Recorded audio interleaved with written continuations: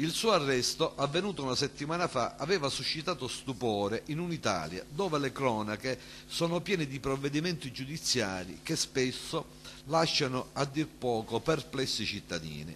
Perplessità legate al fatto che la bilancia della giustizia spesso pare che penda più a vantaggio di chi commette reati di tutti i tipi che verso coloro i quali si difendono dai criminali.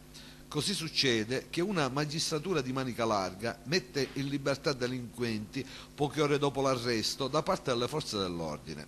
Stupore e perplessità a causa dell'età, 81 anni, e dello stato di salute della persona, in questo caso un noto avvocato alcamese, finito a San Giuliano. Ieri, come è giusto che fosse, i giudici gli hanno concesso i domiciliari e così l'avvocato Francesco Paolo Catalanotto ha potuto fare ritorno a casa grazie all'istanza presentata dal suo difensore Nicola Gervasi.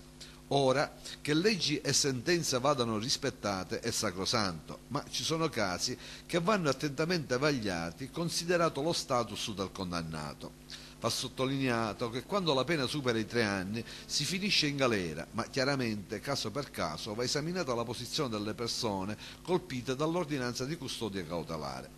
L'avvocato Catalanotto è stato condannato con pena definitiva a scontare una pena di tre anni e sette mesi per reati fallimentari.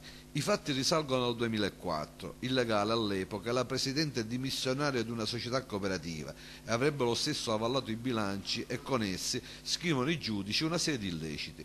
L'avvocato Catalanotto, che in gioventù partecipò a tante battaglie politiche a fianco di Ludovico Corrao, è molto noto per la sua lunga esperienza forense che ancora esercita è un attento analizzatore delle vicende politiche locali e non.